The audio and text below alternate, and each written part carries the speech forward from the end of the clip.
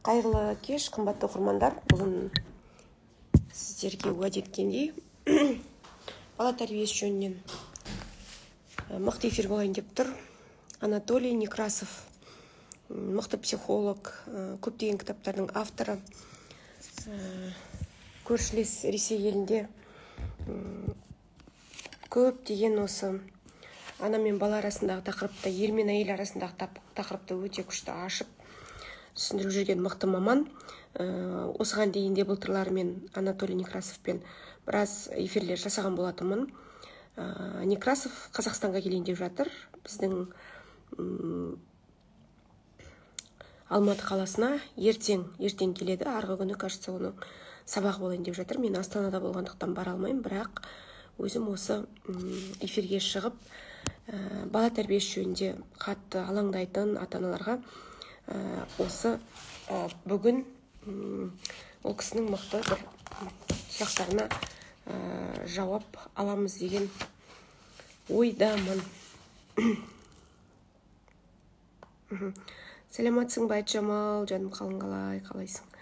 Аха қазір біздің ең мықты спикеріміз жұмыс неге қонағымыз эфирге шыққанша мен ол кісіні күтіп отырмын. Мен сіздерге мына кітапты көрсетіп қояйын. Ана махаббаты материнская любовь қазақ тілінде шықты. Қазақ тілінде шықты. Эфир сақталады. Э, эфир сақталады. Көргеніме бәріңізді қуаныштымын. Түркістандықтар өте қуаныштымын көріп жатырмын қалайсыздар? Ал енді эфиріміздің қонағы қазір қосылғанша мен сіздерге қазір ол кісіге жазайын. Мне кажется ол кісі мені таппай отыруы мүмкін. Mm-hmm.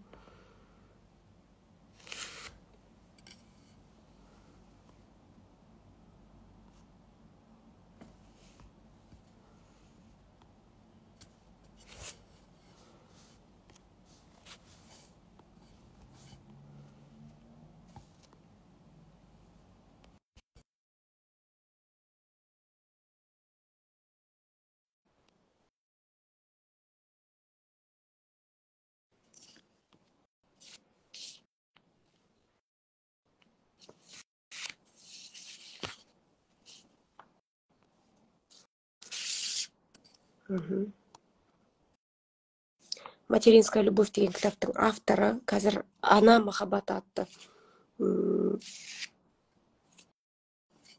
қазақша кітап шықты мен бұл кісіні қазір кішкене таппай отырмын э, если вы меня слышите пожалуйста я вас я вам отправила приглашение если примете, сейчас выйдем. Сейчас я тогда наберу. бала тақырыбында сұрақтарыңызды қоя берсеңіздер болады бала тәрбиесі жөнінде сұрақтарыңызды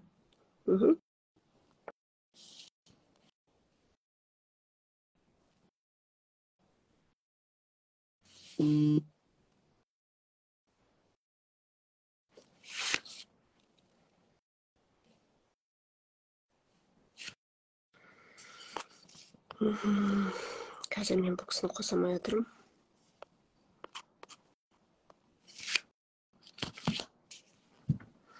Анатолий Александрович, если вы меня слышите, я отправила вам приглашение. Пожалуйста, этот, нажмите. Алло. О, все. Алло. Алло. Алло, угу. давай. Добрый вечер, вас хорошо слышим. Так. Угу. Я вас тоже вижу, слышу хорошо. А, вы уже в Казани, УЛК Астана, Алмата или нет еще? Я в Москве. А, в Москве, да, вы еще?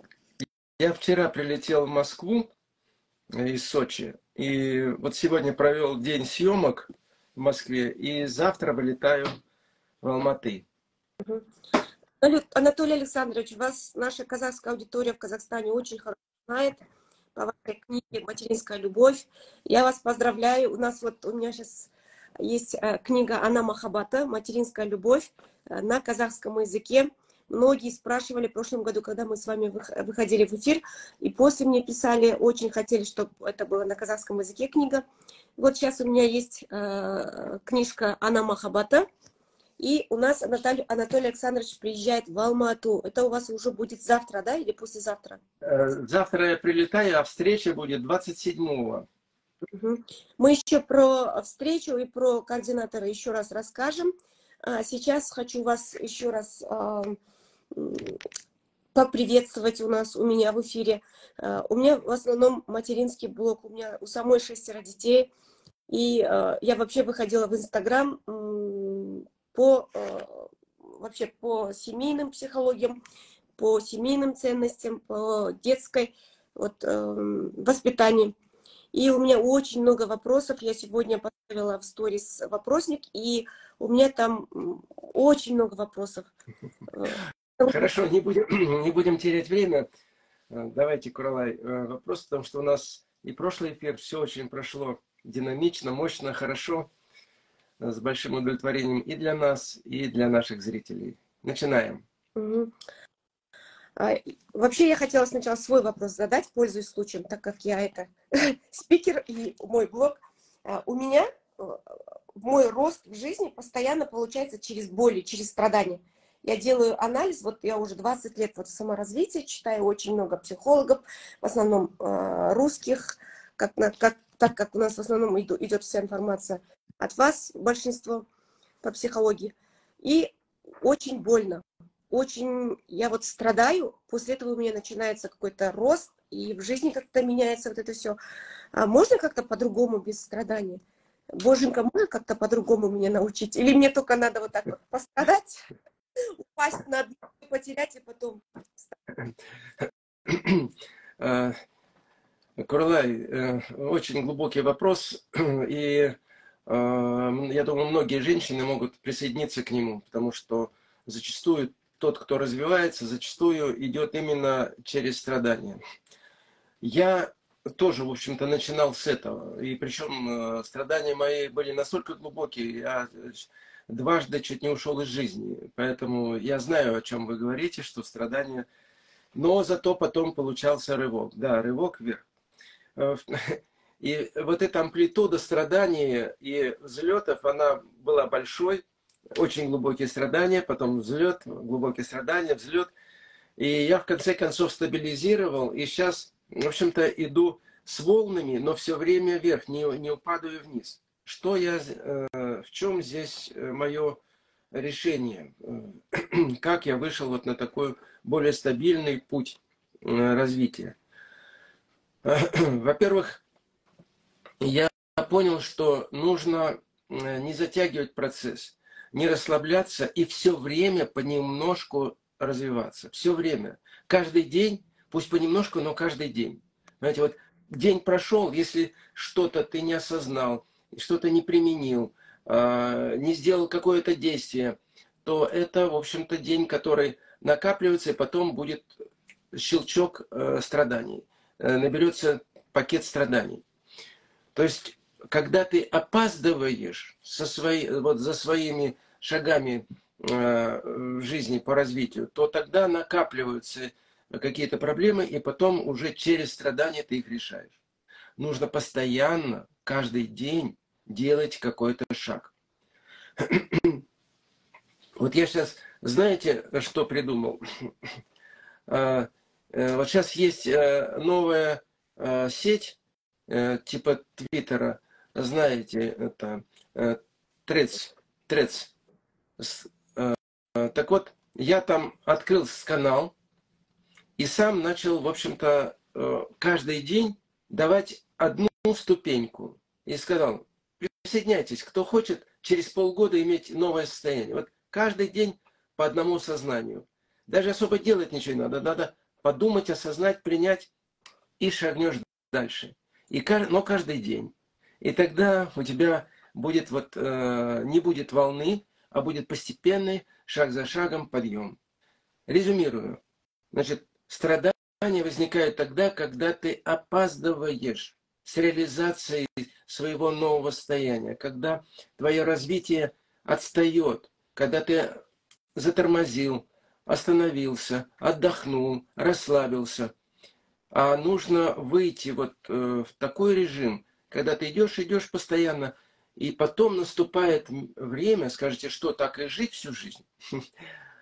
Потом наступает время, когда уже вам не надо особо даже задумываться о том, что какой шаг сделать, как развиваться. То есть я это называю, переходишь в точку невозврата. То есть ты уже назад не возвращаешься, а ты уже дальше идешь более легко и спокойно. Вот такой путь. Сначала надо потрудиться каждый день, а потом переходишь в точку, не, точку невозврата, и дальше идет уже легко, спокойно все время вверх. А, так восхищаюсь вашим вот, аппетитом к жизни, что вот а, новое приложение, я даже тот раз увидела в новостях, вот это все думала, надо открыть, надо посмотреть, и вот до сих пор не посмотрела, и мне так перед вами стыдно. Э, у меня отговорки, что у меня там дети, что у меня столько дел, что потом, ну, восхищаюсь вами. Ну, э, то, что у вас столько детей, это, конечно, э, это очень большой, большой героизм, прямо скажу.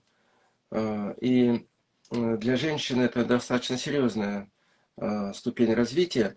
Но вам надо э, вот в следующий момент, чтобы вы э, уменьшили страдания, вам нужно э, все делать не напрягаясь, полегче, расслабленно. Ну, чуть-чуть расслабленно. Делать, но расслабленно. Понимаете? Вот это вот очень важно. Э, не, су, не суетиться, если даже что-то опаздываете, спокойнее. То есть все вот, все успеете, все, лишь бы в голове и в сознании было расслабленное состояние. Тогда все будет реализовываться хорошо. Анатолий Александрович, следующий вопрос, но это по воспитанию детей. У нас сейчас э, такой век, наверное, или в нашем обществе так балуем своих детей. Вот у меня вот шестой ребенок, он вообще избалованный, потому что старшей дочке моей 25 лет, потом 20 лет, и вот наш маленький сын, он даже звонит в Париж, если кто-то дома что-то ей не сделает, а там в Париже дочка студентка в магистратуре, она же скучает, и она сразу всех Э, ставит, чтобы она быстрее ему что-то дали. Он привык. Мы сколько балуем, сколько воспитываем. У нас вот, не знаю, иногда не получается. И сегодня вот в вопросах в основном мамы просят вот про избалованность. Где эта грань? Как вот держать баланс? потому что мы сами дети советской воспитания, да, вот такое авторитарное. И, наверное, от того, что мы, у нас было очень много травм от своих матерей, мы как-то хотим своих детей от этого уберечь, но в крайности уходим. Непростой вопрос. У меня младшей дочери э, сейчас вот недавно исполнилось 9 лет. И вот эти годы я, конечно, прохожу с ней вот этот э, момент Э, тоже потребительство. Я это называю потребительством. И то хочу, и то хочу, и то хочу. Э, э, разъясняем только через разъяснение. Разъясняем, что и так, что это то, то, и так далее. Пресекаем уже, когда начинается манипулирование, манипулирование, стараемся перевести все-таки разговор в какую-то другую плоскость. Например, ну вот для нее я говорю, для дочери, которая уже... Вот давай так, ты прочитаешь там вот такую-то книгу, расскажешь нам ее, вот тогда там что-то там что-то будет э, тебе вот как поощрение за то, что ты вот это все. То есть даем какие-то полезные задания, которые, в общем, или она это делает, или у нее пропадает желание что-то требовать, понимаете? То есть э, такой способ. Раз она манипулирует, ну что ж, давай пойдем таким путем. Будем тоже с тобой разговаривать этим языком, раз ты это понимаешь. То есть через это. Но эта беда действительно сейчас общая, и мы можем позволить себе. Мало того, мы боимся показать детям, что мы что-то не можем. То есть э, вот это вот не, не надо э, говорить. Дочь понимает, э, объяснили ценность денег, что сколько стоит и так далее, и прочее, прочее. То есть она, чтобы понимала, если что-то просит, она должна понимать, что это значит, сколько это стоит, И тогда тоже, это тоже определенное научение, через, вот, через это потребительство учим общаться с деньгами, понимать ценность денег. Это тоже второй момент, вот, э, который, первый все-таки вот как немного их э, манипуляцию, их манипуляцию своей манипуляцией перекрыть. А здесь вот финансовая грамотность должна быть, определенная финансовая грамотность. И объяснить, ну, хорошо, мы сейчас можем вот это купить, там прочее, но зато у нас потом, допустим, не будет Э, в поездке там ты не будешь иметь подарков там или там что-то, или поездка вообще может не состояться. Ну, к примеру, так. То есть вот таким путем. Это второй путь. Третий путь э, все-таки э, где-то говорит, нет, это сейчас не можем, не надо, и мало того, это тебе не надо. Вот когда вплоть до того, что где-то вот жесткую позицию даже занимать. Вот три момента. И этими моментами надо э, пользоваться мудро. Вы вот э, в книге «Материнская любовь» Анна Махабаты, вы в основном пишете, что э, болезнь детей и вообще психология, психика детей в основном от, зависит от отношения мужа-жены. Э, насколько ну, мы должны быть очень такими счастливыми, да, чтобы дети были успешными. Или мы не должны показывать какие-то свои минусы, ссоры. Ну, детям показывай, не показывай, они все равно все считывают. Даже если вы в другой комнате там э, разговариваете, решая какие-то, решаете острые вопросы, дети все это считают. Если вы где-то даже на улице переговорили, там немножко даже поссорились, к примеру, чтобы детей не, не загружать, приходите домой, они это считают. Все. То есть они все впитывают как губка, впитывают, и чем меньше они, тем э, глубже и быстрее впитывают. Поэтому прятаться э, это бесполезно. А вот, конечно, совсем-то уж не надо так э, на виду, но, по крайней мере, надо понимать, что дети все равно все ваше внутреннее состояние считают. Так вот, насколько быть счастливым? Дело в том, что э, счастье же вещь такая, э, это объемная. Там же в счастье присутствует много всего. Поэтому э, вы же не можете весь, всю жизнь вот быть в прыжке, в высоком прыжке счастья и радости. Разные бывают ситуации и прочее. Поэтому э, детям нужно показывать что есть счастье, а что есть проблема. То есть даже говорить им, рассказывать, э, в какой-то момент э, случилось у вас какое-то напряжение, какая-то проблема. Э, вместе обсудили, рассказали. То есть по мере взросления и понимания детей надо включать в свои какие-то процессы, объяснять, что нам не просто, там то, мы вот решаем такую-то задачу, давайте, дети, помогите. То есть включать их в этот в процесс семейной жизни, формирования семейных отношений, а, причем включать активно. Давайте вот вы сейчас а, между собой, пожалуйста, давайте э, дружно там то, потому что нам сейчас трудно, нам, мы там решаем какие-то задачи, и ваше состояние, ваше отношение друг к другу нам помогает. Ну, к примеру, так. Ну и так далее. То есть э, не бойтесь того, что они вдруг увидят какую-то сложность, какую-то проблему. Нужно детям правильно все объяснить. Нужно объяснить причины, надо объяснить, как вы выходите из, прич... из этих проблем. Потому что в жизни всякое может быть. Как они будут учиться? А вот вы, у вас случилась какая-то ситуация, вы рассказали детям, то есть не закрывайтесь от них, включайте их в свою жизнь.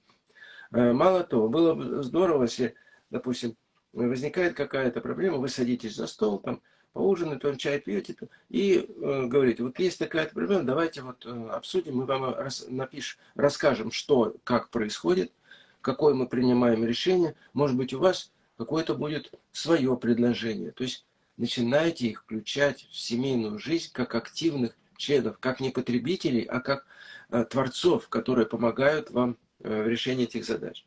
И мало того, когда вы так будете детей включать, все проблемы будут решаться намного легче или вообще исчезать. А, это, это точно, потому что детские энергии очень мощные на самом деле. гораздо мощнее зачастую взрослых. То, что у взрослых чаще ум решает, а они сердцем, они вот э, своим состоянием, своей любовью так подействуют, что проблема растворится сразу. Вот. Так что включайте их вот э, в этот процесс. Не бойтесь показать свою слабость. Говорите об этом. Рассказывайте, как вы решаете задачи. Они на этом будут учиться. Очень хороший инсайт для меня тоже, когда я читала вашу книгу, что э, не бояться показать свою слабость. Я, оказывается, раньше тоже со старшими всегда боялась показать, показаться слабой, и поэтому не говорила про проблемы. Сейчас я уже как-то, наверное, вот эго или моя гордыня как-то упала, и я могу всегда показать свою слабость. Надо понимать, что это, э, это процесс обучения.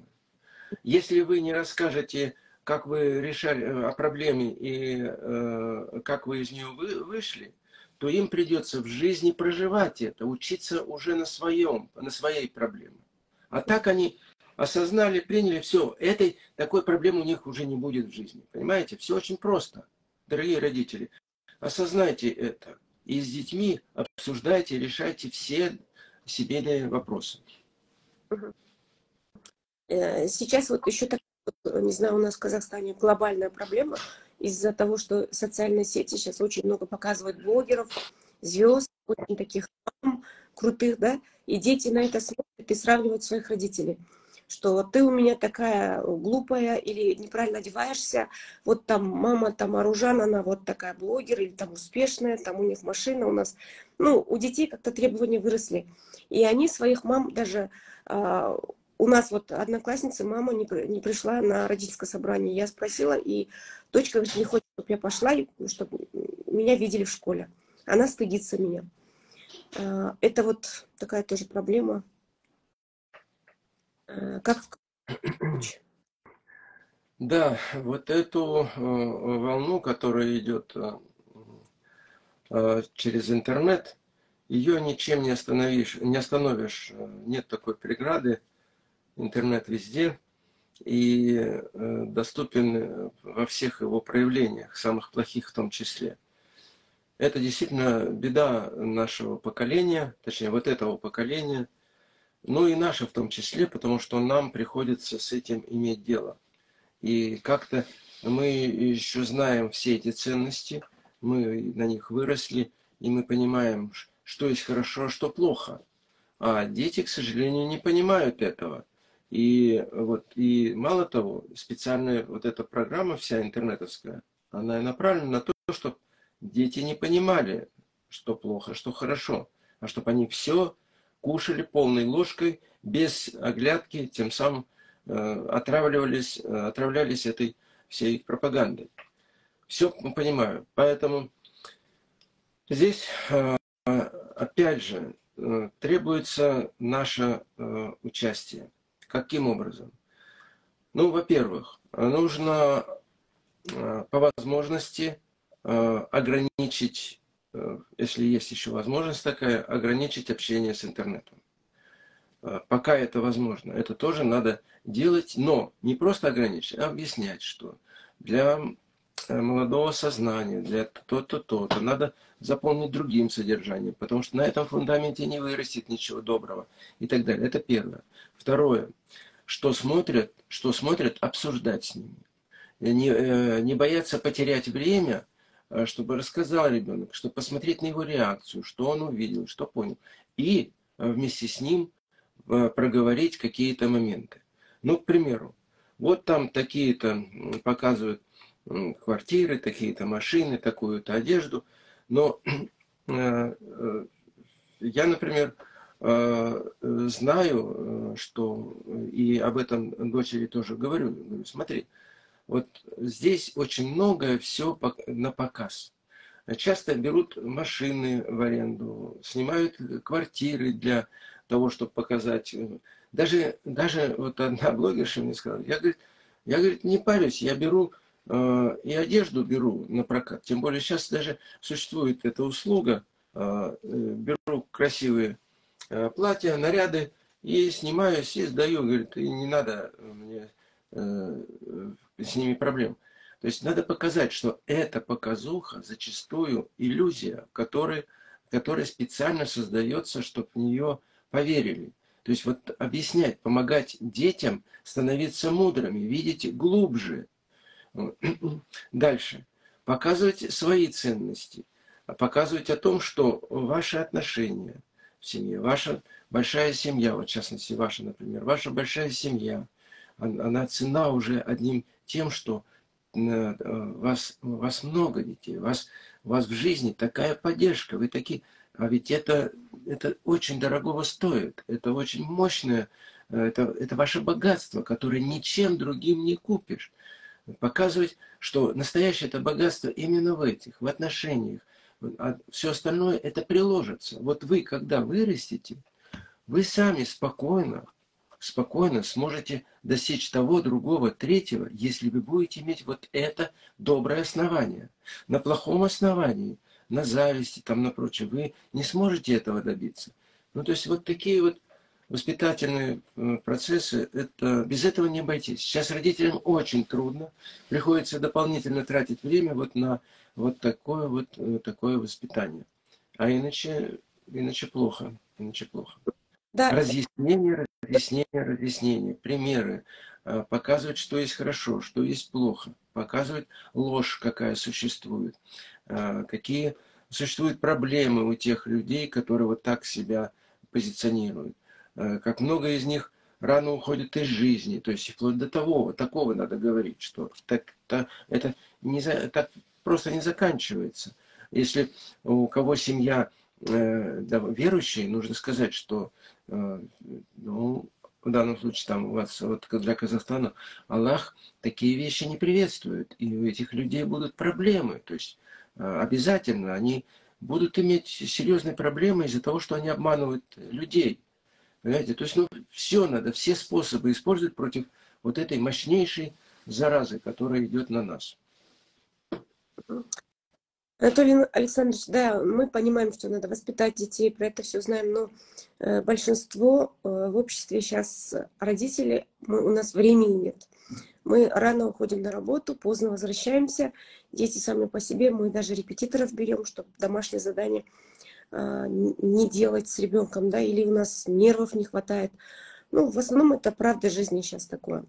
Летом отправляем на каникулы, если есть там бабушки, дедушки, туда отправляем ну, сил не хватает, времени не хватает. В, в основном у нас у казахов сейчас очень много многодетных семей. И как в таком случае, вот, как быть вообще? Уже он воспитывает, двор воспитывает, школа воспитывает, но не на родители. Ну, это сейчас правда жизни такое. Вы знаете, вот а, родители сильно заняты. Родители работают зачастую на износ. Вот у нас э, сегодняшняя тема как раз э, этого-то касается, что огромная занятость родителей и э, дети, как это все, как это все увязать. В принципе, мы об этом сейчас говорим. Знаете, вообще, если взять просто эту тему, то она, конечно, очень сложная. Но если ее начать потихонечку, постепенно решать, то э, э, все выстроится. А что выстроится? Выстроится, например, то, что э, э родители сменят работу. Возможно, они так много работают и так сильно заняты, потому что они не нашли свое предназначение. Понимаете? То есть зачастую много работы а, у тех, кто не нашел свое предназначение. Тот, кто нашел свое предназначение, у того все гармонично. И работа, и отдых, там, и дети, и все. То есть, понимаете, а, это действительно так. Вот а, я не помню, я Коран читал, но я не помню, там, вот, но в Библии я вот эту вещь запомнил. Там говорится, Бог говорит э, человеку, посмотри на птиц, смотри, какие, какие у них красивые, какое у них красивое оперение, как они поют, радуются, летают. Да, они э, кормят, строят гнезда, э, там кормят детей, но они очень много поют, радуются, и у них все замечательно. И они особо не трудятся. Почему ты считаешь, человек, что ты должен через труд все добывать? Понимаете, вот здесь, в этой э, притче, очень глубокая мудрость. Мы зачастую считаем, что деньги приходят только тогда, когда ты много работаешь. Это заблуждение. Это заблуждение. Работать надо столько, чтобы не напрягаться, чтобы ты работал в удовольствие, творил в удовольствие, и у тебя оставалось еще время на то, чтобы заниматься там детьми и прочее. Понимаете, мы сами себя загнали в этот режим, что надо, что только через труд можно э, добиться многого.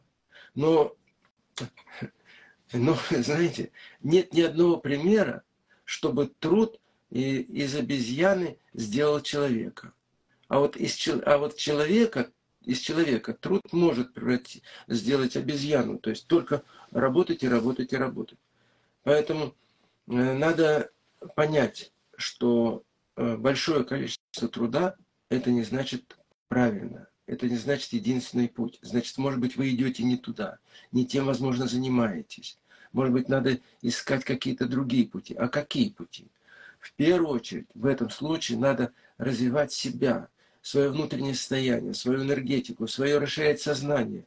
То есть повышать себя в вибрациях, и тогда тебе откроются горизонты. Ты увидишь, что, оказывается, вот ты здесь, здесь, все, вот ты работал, вот, вот это твое. А когда ты приподнимешься, о, так, а, там за забором-то, оказывается, там можно по-другому, там что-то новое, новая, де, новая должность, новая деятельность, новое творчество, и там уже не надо столько трудиться. То есть, понимаете, завис, э, вот по мере роста человека, в его э, раскрытии его потенциала энергетического, психологического, духовного, э, ментального, по мере раскрытия у человека появляется возможность меньше трудиться, но больше иметь. Это вот, то есть родителям, когда вот они как загнанные лошади, надо понять, что они не тем занимаются. Что-то здесь не то. Не может такого быть, чтобы так нужно э, трудиться. Бог, Бог каждого любит и каждому дает по его состоянию, а не по его труду. Запомните это по его состоянию. А у вас состояние, вот в частности у вас, например, Куралай, у вас шесть детей. Это же великое достояние. И вам должно быть все намного легче в жизни.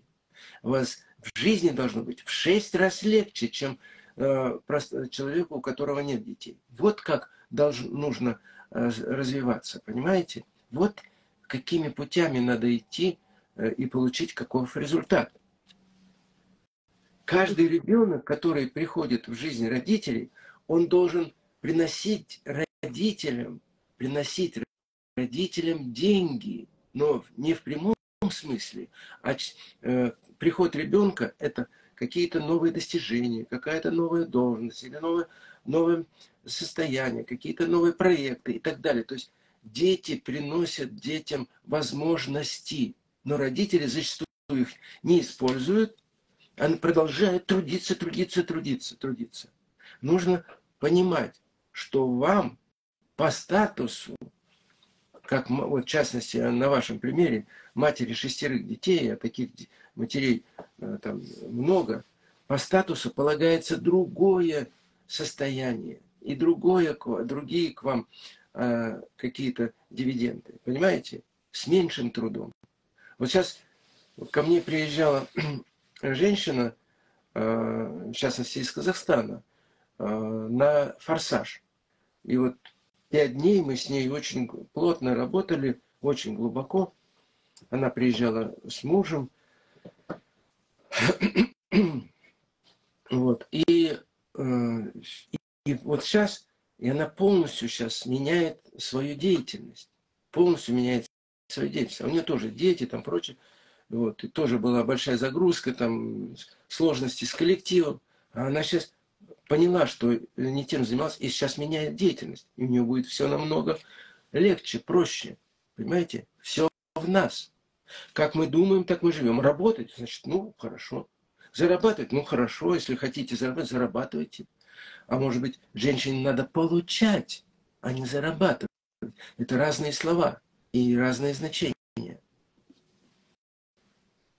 Не знаю, я смог, смог объяснить или нет? Да, я сама Другие не знаю, но мне прям дошло. Александр, ой, Анатолий Александрович, вот у нас сейчас какой-то вот тенденция, а, как будто женщины хотят работать, а мужчины дома сидеть.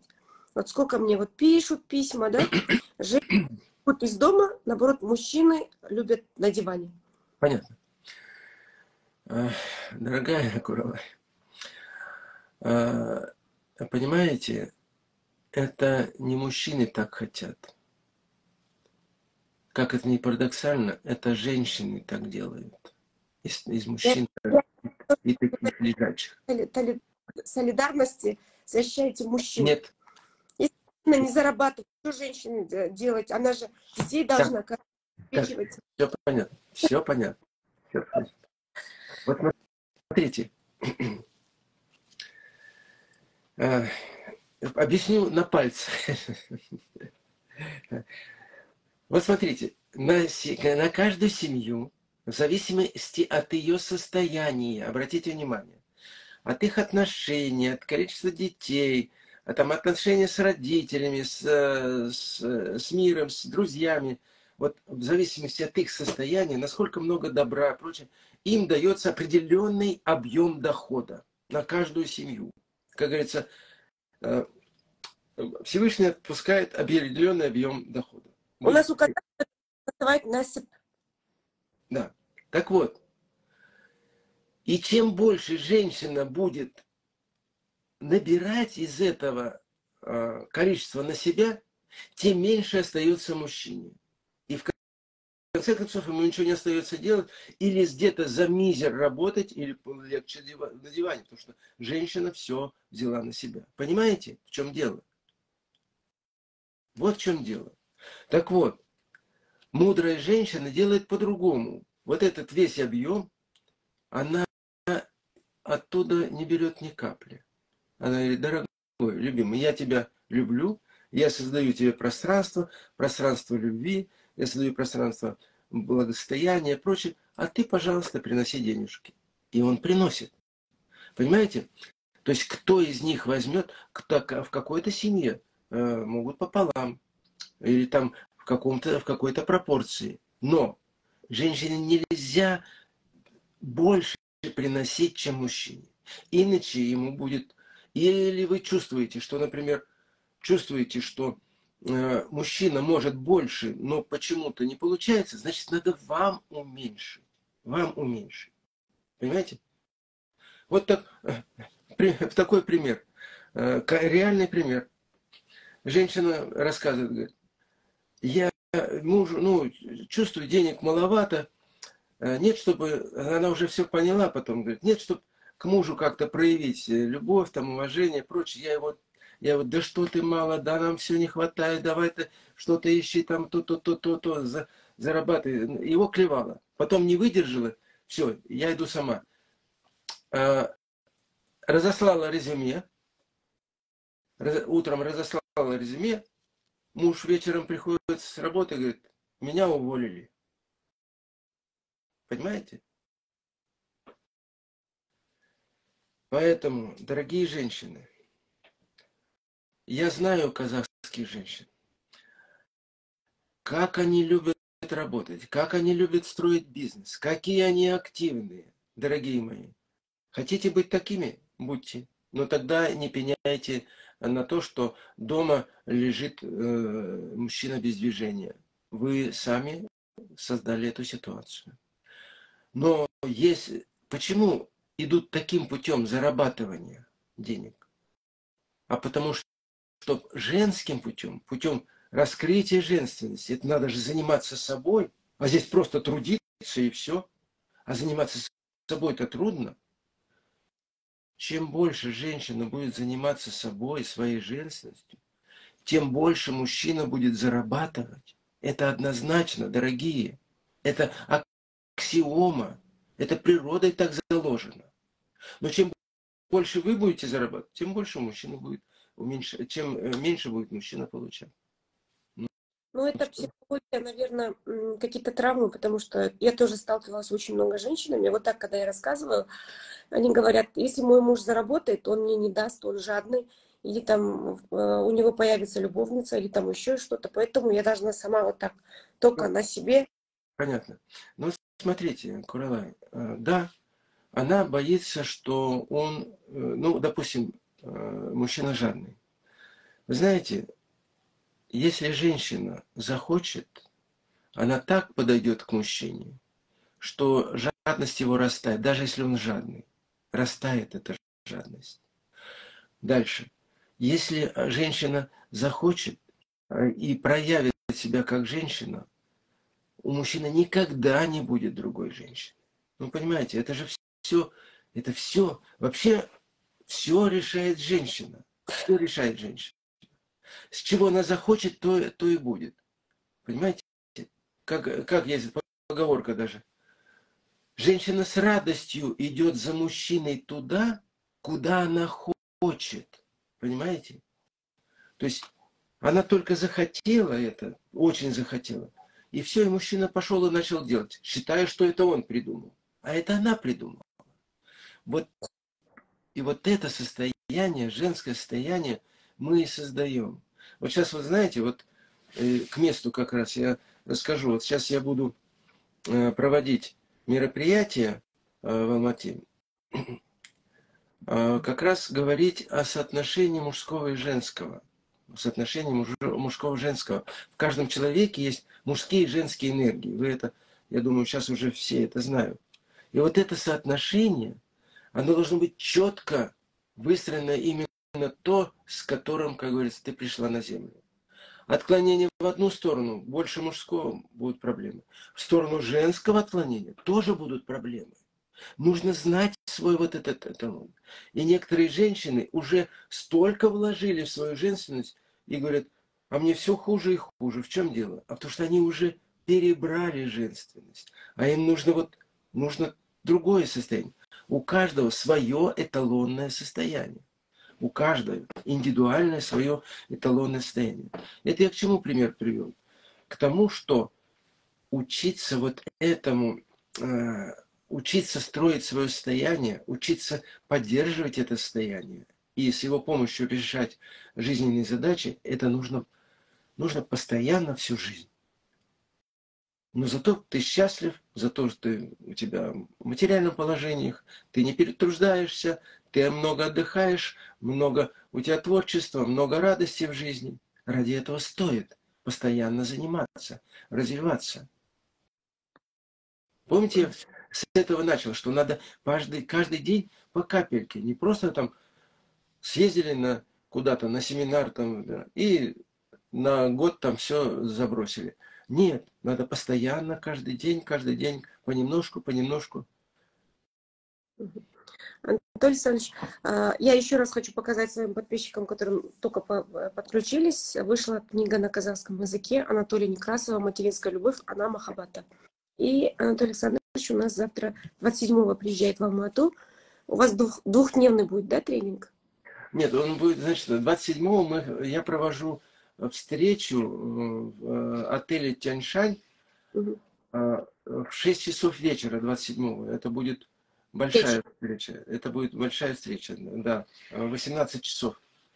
Вот. А 20, э, так, это 27, 27, а 29 я проведу э, тренинг. Тренинг вот как раз по балансу мужского и женского, который вот я сейчас новый метод открыл, очень эффективный метод, который позволяет как раз определить, а какой женщине ей можно работать или нет. Есть, понимаете, вот согласно этому балансу, одним женщинам нужно просто работать обязательно.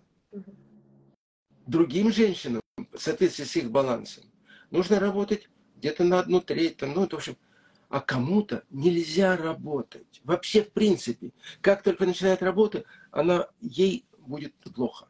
Понимаете? Плохо в плане материальном, там, семье, дети. То есть будут возникать проблемы. И вот это надо знать. организационным вопросам тренинга, когда, где и сколько, какая цена, вот я написала номер, прикрепила. Э, напишите на... Где-то есть вся информация, я точно... Да, да. И можете в инстаграм-аккаунте посмотреть у Некрасова. Здесь вот как раз все я записала. Да. А, Антон Александрович, у вас вот в этой книге я прочитала, и мне прям такой инсайт очень хороший. Видимо, это моя прям боль сейчас, или тема такая была. Сейчас а, очень много детей э, оставляют своих родителей э, в аулах, в поселках или, или даже в этих, как же называется, интернаты для... Дома престарелых там или что-то такое. Это вот от чего возникает? Или это, это от родителей э, ошибка? Или это общество сейчас так? Знаете, вот в Казахстане, я думаю, это, это я не помню, ни разу мне никто что-то не рассказывал, может быть, этого явления нет, а я просто еще усилю этот момент. Рассказываю о том, что, например, вот в России, э, когда э, иногда сыновья напьются, даже бьют своих родителей. Бывает даже такое. Редко, но бывает. То есть вот до такого даже доходит. А оставляют тоже. Почему это происходит? Знаете, вот э, возьму крайний случай, когда, допустим, сын э, выпил, и он бьет своих родителей. Почему это происходит? Э, ну, вы знаете, когда человек под алкогольным вот этим состоянием, то у него сознание отключается или полуотключается, ну, то есть он не в, в сознании особо находится. И здесь выплывает наружу его обиды на родителей. Его обиды. Какие? Например, он не может создать свою семью. Он не может найти себе работу неосознанно понимает, что это идет оттуда, из глубины, из задавленного детства, из-за неправильного отношения, из избыточного контроля родителей над ним и, так далее. То есть он неос, неосознанно это понимает и начинает эту обиду, это все на них вымещать. Это крайний случай, но это как раз и объясняет, почему родители бросают. Когда родители детей, детям относились как к своей собственности, ограничивали, контролировали, постоянно а, учили, там, на, э, заставляли делать то, что они не хотели, не там учиться, не, там, не, там, на того вы, э, не за того вышла замуж, там, или, в общем, какие-то вот постоянное такое вот отношение к э, детям, это у детей записывается, и потом они это возвращают своим родителям. Поэтому очень важно, вот книга «Материнская любовь» же, она же об этом. Если у родителей дети на первом месте, то они обязательно будут плохо относиться к родителям. Обязательно. Это аксиома. Почему? Как я и объяснил. Потому что они, этим детям родители жизнь испортили. Поставив детей на первое место в жизни, они испортили э, жизнь детям. И те понимают, взрослеют и понимают, что родители им испортили жизнь. И они, а, в общем-то, так к ним начинают относиться. Я вам расскажу такой пример. Одна женщина мне рассказала а, о том, э, что вот она пришла ко мне с вопросом, что ей э, вот надо, э, хочется переехать, она живет в Сингапуре э, с мужем, иностранцем, а ей хочется переехать на Бали. Но, говорит, не пойму, хочется и не хочется, хочется и не пойму. Вот помогите мне разобраться. Ехать не, вот с таким вроде бы вопросом. Я понял, что здесь что-то не то. Не просто такой вопрос. То, что ко мне мир приводит людей с серьезным вопросом, а здесь вроде бы, ну, поехать, не поехать. А оказалось здесь очень серьезно. Когда она рассказала свою жизнь, оказалось, смотрите как. Мама настолько была привязана к дочери, очень сильно. И, в общем-то, это, мама очень хотела быть танцовщицей, но не стала. И она захотела, чтобы дочь стала танцовщицей. Дочь стала танцовщицей. Мать очень хотела уехать за границу и выйти замуж за иностранца. У нее это не получилось. Она захотела, чтобы дочь вышла замуж, уехала за границу, вышла замуж. И дочь уехала и вышла замуж за иностранца. И вот я говорю, вот прямо здесь сидим, я говорю, позвоните, пожалуйста, своей маме, вот сейчас прям позвоните, спросите, она на Бали не хотела ли поехать? Она здесь же звонит, и мать ей говорит, доченька, как ты услышала мои мысли? Я так хочу на Бали. Понимаете? И у дочери истерика. Она говорит, получается, я всю жизнь прожила не свою, а жизнь мамы, которая ничего не реализовала в жизни, но она меня заставила проживать свою жизнь. Это конкретный пример, реальный пример. Вот вам, за что дети своих родителей не любят. Потому что они поломали их, э, таких родителей, вот родителей, которых оставляют там и прочее, прочее, это, значит, родители испортили жизнь детям настолько, что те не хотят к ним хорошо относиться, уважать и так далее. Угу. Ну, это взрослые дети, да, уже за 30, за 40. А многие мамы сегодня вот именно в сторис, когда я вас написала, что у нас сегодня будет эфир, многие пишут, пишут 13 лет, 14 лет, очень претензий очень много, груб, грубые, э, вот, или это переходной возраст, или вот почему так такие дети, они же как Я вам так скажу. Вот у меня, вы знаете, семь детей, и я ни с одним не имел э, проблем вот, э, вот этого переходного возраста, как говорят, трудный возраст. У меня не было с детьми трудного возраста. Почему? А потому что у меня у самого не было к ним такого трудного возраста. Этот трудный возраст, это возраст, трудный возраст родители придумали. Это чтобы оправдать себя. На самом деле все просто. Когда ребенок начинает взрослеть после 10 лет, к нему надо все более более уважительно относиться. Как мужчине, как женщине. Именно так. Женщина это как подруга. Это моя подруга. То есть по-подружески строить отношения. А к мальчику, как к мужчине. Ты классный мужчина, ты растешь там то, супер, так далее, так далее. Уважительно.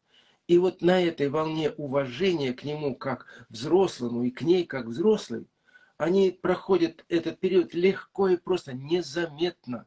Я ни в одном не заметил то, что я к ним именно так относился, как взрослеющим мужчинам и взрослеющим женщинам. Вот и все. Надо с ними быть на равных в это время, а не сверху, не давить.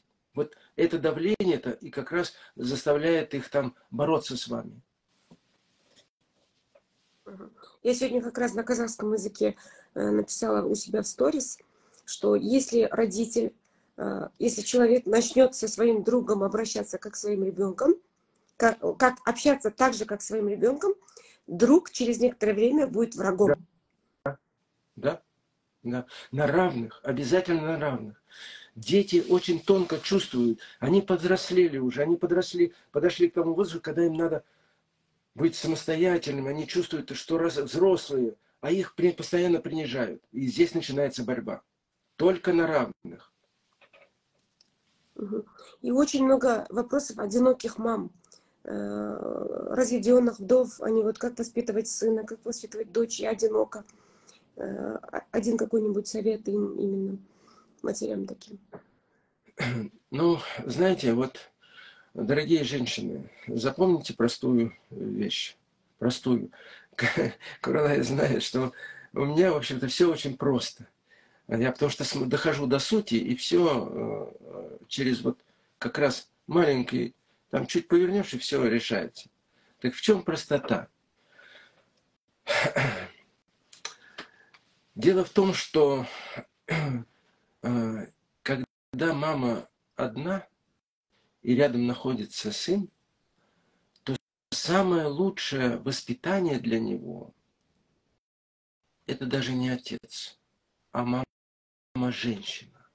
То, что мужчины воспитываются только рядом с женщиной. Из мальчиков мужчины становятся рядом с женщиной, не с мамочкой.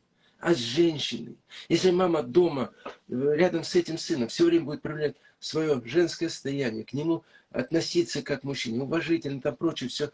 То есть, поверьте, он рядом с ней очень быстро станет настоящим мужчиной.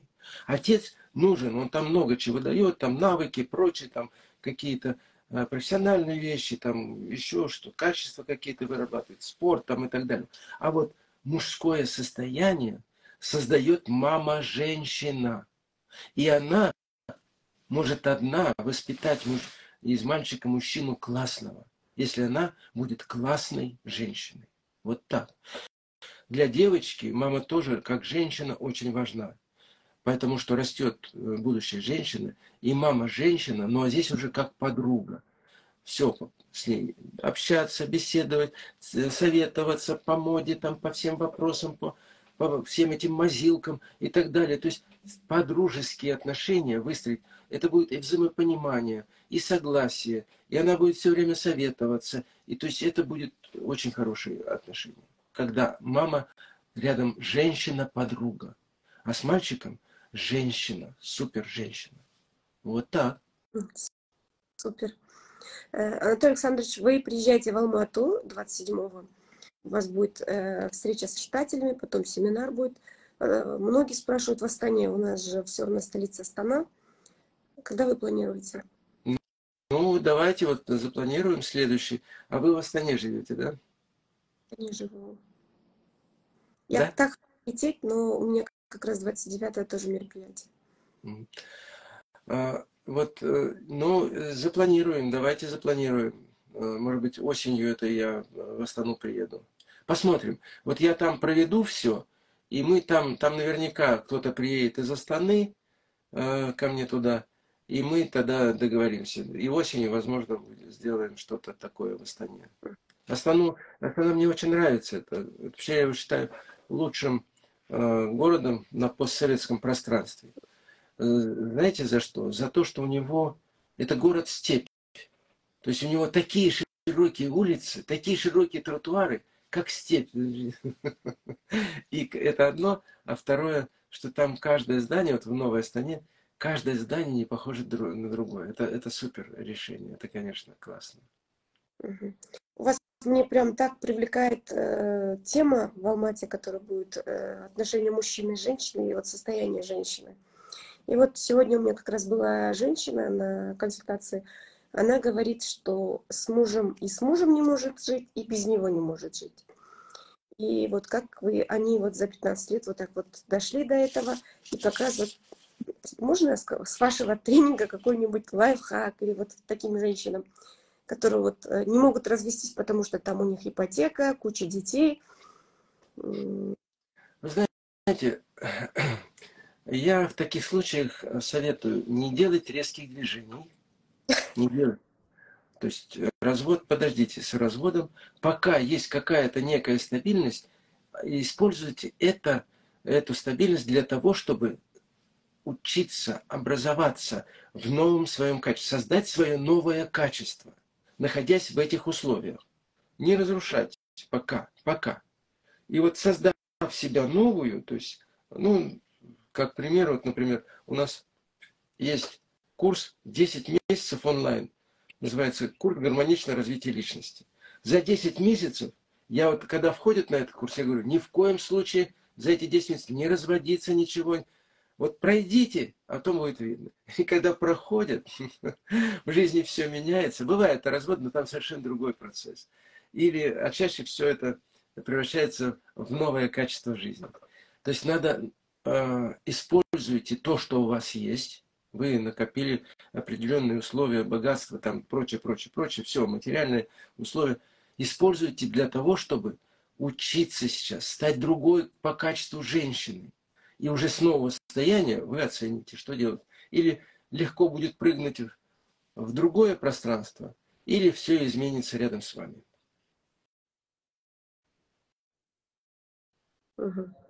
Я сегодня вот прочитала ну, ваша тоже у меня книга ваша. Почему... А, а, что в человеке всегда есть сила для преодоления любой проблемы, для решения любой задачи. Да. Э, если так, почему вот 80-70% людей спиваются, уходят, вот, не развиваются, если есть какая-то сила?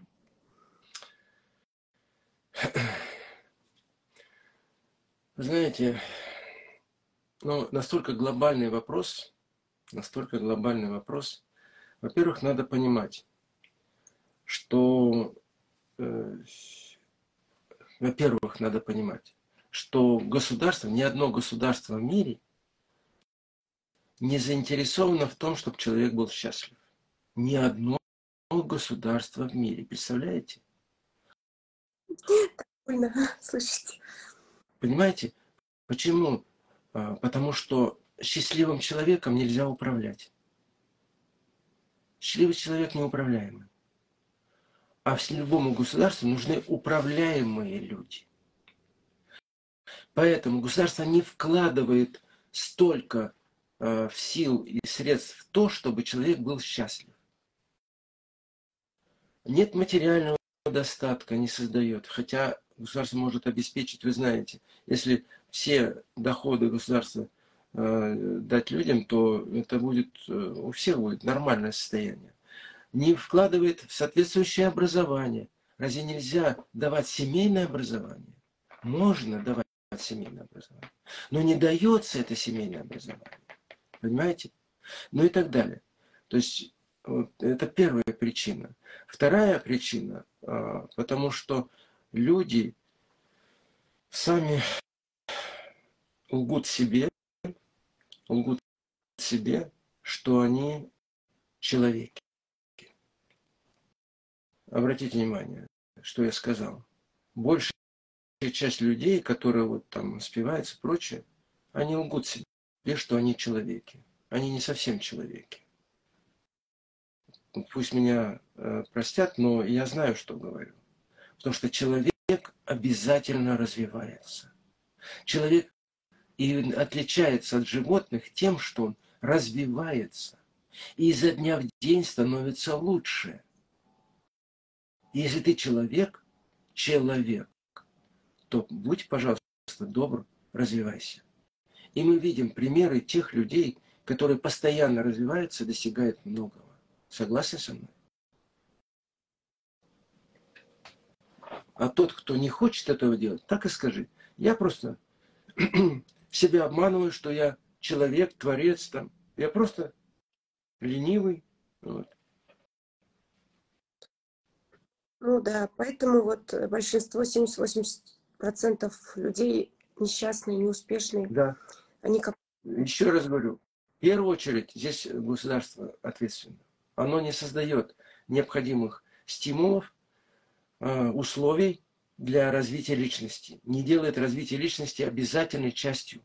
Вот смотрите, раньше, например, в древние времена у каждого народа, в том числе и у казахского народа, было такое посвящение, инициация в мужчину, инициация в женщину. Это было. Жизнь выходили зрелые мужчины и женщины. И только им позволялось создавать семью, родить детей.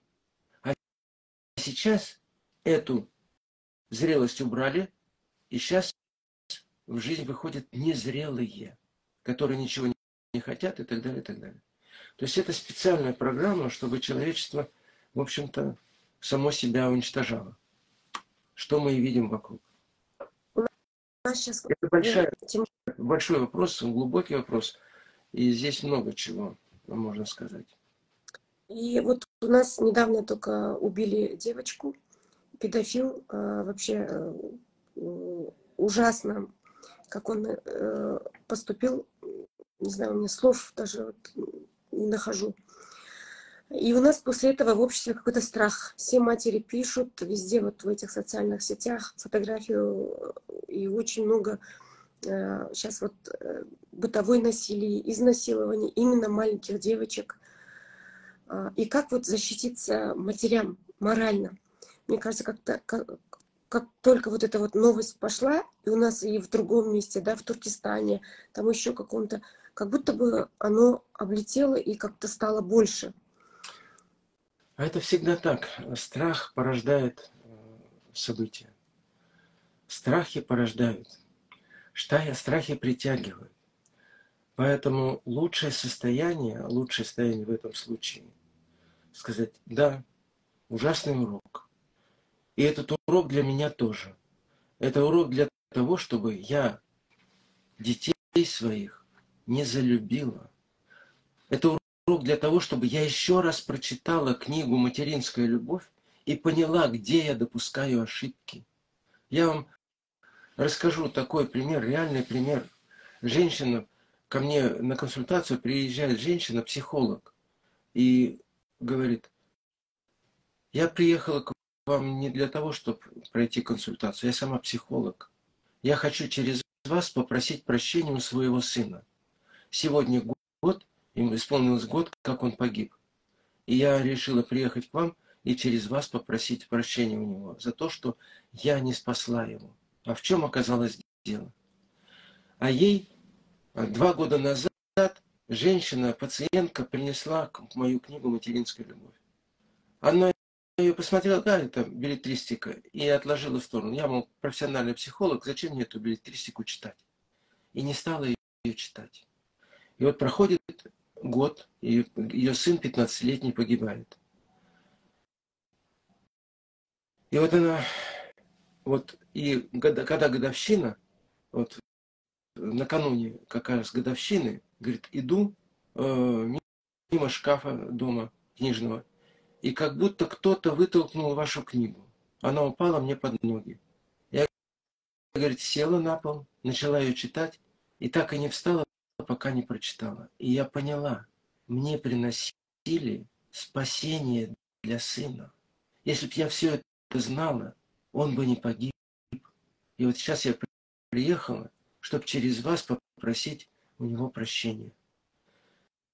Понимаете? Поэтому, дорогие женщины, вот чтобы снять вот этот страх, еще раз прочтите, вот прям начните читать сегодня материнскую любовь. На казахском, на русском, неважно. Можно в электронном виде. У меня есть и аудиоформат. Послушайте. Закачайте там в машину, вы слушайте. Но прослушайте. Вы этим самым много осознаете и снимете этот страх, который сейчас есть в Казахстане. Большое вам спасибо. У нас почти уже час прошел. И напоследок один вопрос. Я так восхищаюсь вами, как только я э, прочитала книгу, это лет 10 назад, наверное. Э, тогда у меня трое, четверо детей, пятеро детей было. И э, многое я вот э, при воспитании детей пользуюсь вашими советами. Мне еще э, восхищает вас то, что в таком возрасте вы как молодой.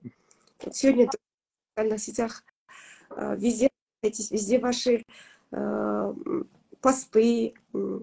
Как вот сохранить вот эту молодость? Эм, вот я как-то вот смотрю на старых, да, э, таких же на возрасте, хочется им громко что-то рассказать, чтобы они поняли, пересказать. С вами общаюсь, как вот со своим сверстником. Вы знаете, я очень хочу, чтобы люди были счастливы. Я очень люблю людей, люблю жизнь и хочу, чтобы люди были счастливы. Поэтому мне некогда стареть. У меня очень много дел, чтобы помочь людям быть счастливыми. Все, что я делаю, это в первую очередь для этого. Не для зарабатывания, поверьте. Именно для того, чтобы люди были счастливы. Здесь вот я включила комментарий, очень много вопросов. Вы можете ответить или мы уже заканчиваем? Заканчиваем уже. Ну, У меня сегодня день съемок еще. Большое вам спасибо, что согласились в такой эфир. Уважаемые читатели, э, к нам приезжает Анатолий Александрович Некрасов в Алмату. 27-го будет э, в гостинице Тяньшань э, встреча с читателями. 18 20... часов, 18 часов, да. 29-го будет супер-супер-супер шикарный тренинг. Да. Развивайте вот мы э, за час рассказали, я вот какой-то вот инсайт для меня это вот постоянное развитие. Тем более, если у вас дети, вот вас благодарят, здесь вам, наверное, не видно, очень много комментариев. Живите долго, живите еще сто лет. Э, мне кажется, ваша книга, она будет э, всегда бестселлером, всегда классикой. И вот у нас на казахском языке вышла Анна Махабата. Э, кто хочет, можете, вот здесь вот написала номер вашего ассистента. Берите, вас все благодарят даже на казахском. Электронную можете тоже купить. Благодарность вам безграничная. Анатолий Александрович, отец семерых детей. Так что он вот это все проживает и у себя тоже через себя все пропускает. Не то, что там по книжке что-то прочитал и все. Спасибо вам. У меня уже трое внуков, правнуков правнуков. Супер. Спасибо большое вам. Куралай, огромная благодарность вам за то, что вы э, делаете в жизни и для своих детей, и для Казахстана, и для мира. Благодарю вас. Приезжайте в Астану, если что, я помогу с организацией. Хорошо.